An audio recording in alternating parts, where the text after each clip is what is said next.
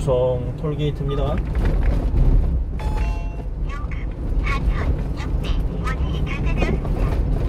유성 톨게이트 앞에 나오면 이렇게 월드컵 경기장이 있어요.